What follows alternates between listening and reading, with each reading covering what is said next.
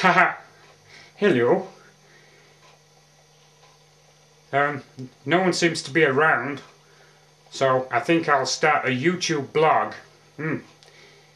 Um, what shall I talk about? Um, let me see. Ah, human beings. Human beings and their beliefs. Well, I'm just like a stuffed teddy, and I'm an inanimate object. I'm a non-sentient being. I have no religion. I have no politics. I have no voice. In fact,